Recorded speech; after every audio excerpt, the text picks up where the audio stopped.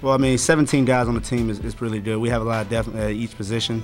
Um, so just, you know, people get tired. We, the way we play now, we play so much faster. So when people get tired, get a sub. And, and that next Josh coming in is, is just as good as the first guy. So we like that. And we needed that this game, you know, just a lot of guys in shape and, and, and um, a lot of stops late in the game really helped us.